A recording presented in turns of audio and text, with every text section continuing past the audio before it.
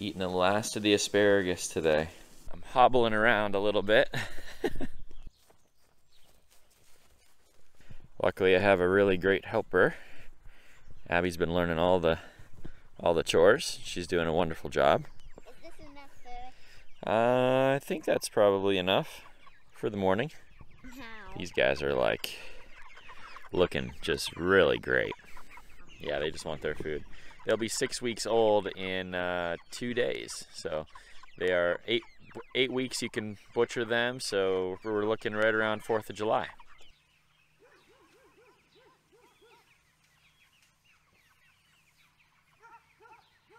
Abby can't quite move them yet, so I'm not I'm not totally useless. So that's good. You did a you're doing a great job with the chickens. You know that. Abby takes care of her own chickens in there every morning now. They're getting a little bit rambunctious, going all over the yard. They're still quite small. You have to realize they're, they're the same age as the uh, as the white broiler chickens, and so they grow much slower. But these will be the egg layers, hopefully, for the next uh, three or four years. And of course, we still got the main uh, the main flock here. Got to keep them fed as well, huh? Although this time of year they prefer to spend about 16 hours a day outside. And then this garden, oh my goodness, it is just absolutely killing it. All right, the okra is coming along nicely on both sides there. Some other traditional things like peas are really going well. The beans are coming in nicely and the little little corn stalks are popping up.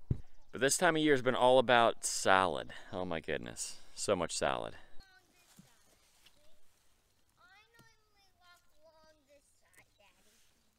Zoe, you were stepping on. Zoe. Um, um, Daddy. You got spinach coming in here like crazy too. These are all potatoes. They're looking uh, looking pretty healthy. Zucchinis are coming in strong. We got these other garden beds we just planted last week. They're already coming in strong as well. Look at all those radishes. We only planted those radishes a week ago and they're already popping up. It's uh it's craziness. We got tatsoi here. We got Swiss chard. Bags filling up here. Snag a couple onions. I think we have a few onions to spare. Been trying to fertilize as well. We have comfrey tea. Lily's gonna fill my buckets. Thank you. Tell you about the comfrey tea another time. That's like one of the game changers, but can you guys imagine just having a garden like this in town, just full of vegetables that we could, you know, have community to come and pick?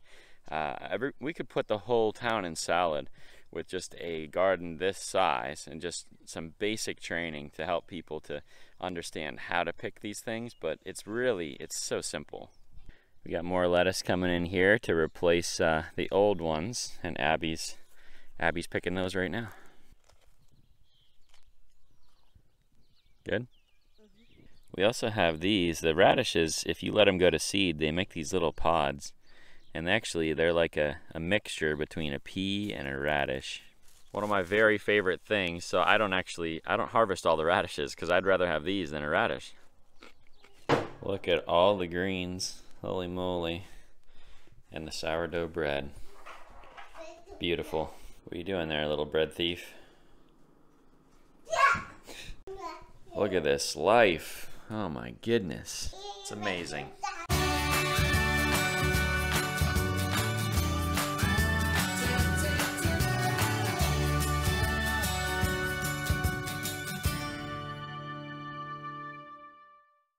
Got a little bit shorter video today. I just wanted to kind of uh, address a question. It's come up a couple different times now. So we're in full swing for Summer of Serve, which is one of the major pieces of the puzzle of how we're trying to eliminate blight in Kittanning and achieve our goals for Kittanning 300. If you don't know what those things are, uh, you know, there's you can check out. I'll, I'll, link a couple videos here from the past to kind of uh, catch you up on all of that. So last year was actually the first year that we wanted to document our progress as far as um, eliminating blight throughout the city. And it was really successful in the first year. We documented an improvement of 13.41% in the residential uh, areas of Kittanning. Obviously, I've been making videos for the past several years and uh, documenting all of the changes in town, documenting all the Summer of Serve projects, and, and uh, hundreds of you have commented on those videos over time. A lot of those are not public comments, but just messages that are sent to me thanking the groups of volunteers that have done just incredible work over the past several years. So I feel like it's really starting to get noticed. I feel like the change is really beginning to accelerate, and uh, that leads to some questions. Some people ask if they can get involved, and the answer is absolutely yes. Some people ask how can they support us, and I'll have to answer those questions specifically. But a lot of people are wondering, you know, can they get some help with their house, and will they be eligible uh, to participate in Summer of in that way? The short answer is yes, but I wanted to explain a little bit more about how we come up with the projects and how we select uh, the projects that we're going to complete next. So part of the vision to transform the city has to do with selecting certain areas. Last year we focused on Wilson Avenue. Uh, we focused on that whole area because that's where Habitat for Humanity was focusing and we wanted to make as much impact in one year as possible. Uh, this year we're focusing on the trail corridor and so right here on the Armstrong Trail there are a lot of houses all along here that need that are in need of a lot of help and uh, some that just need some little things and so we're trying to just make as much impact on the trail corridor as we possibly can. Now that does not mean you have to live on the trail corridor here in order to get help from Summer of Serve. Uh, in fact, if you've been following this channel for any period of time, you know last year, you know we did projects all over town. Just because we're focusing on one area doesn't mean that's the only area we're gonna stay, because the second rule is that we wanna make as much impact as possible. For example, last year, this was a simple porch painting job. We did this porch in just a couple hours. Um, the paint was really peeling off of it, and now it's still holding up really well a year later. But that was a project that was a very simple project that made a big difference on the house. And so if we can find something like that that's going to make a big impact in the community, then we're definitely going to try to uh, complete that project.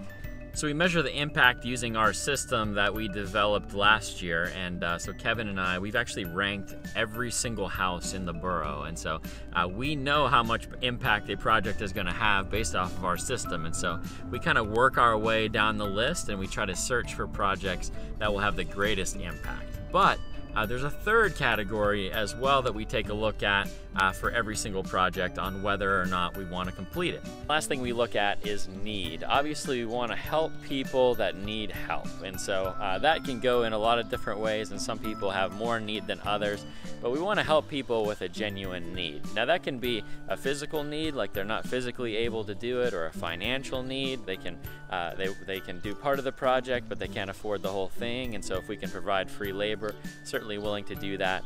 Or it can be just a need like, I'm living next to this house and the grass is up to my shoulders. Can someone come and help me with this? And so a lot of things factor into the decision of what projects we actually choose. But what I would tell you is please, please, please continue to get a hold of me.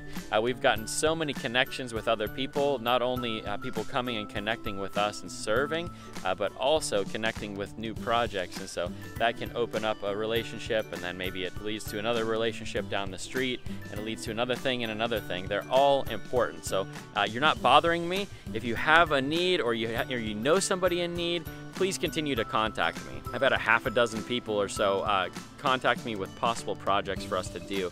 And some of those things will happen this year, and some of them will just go on my list for next year and future years. And so um, it all makes a difference. Keep doing it.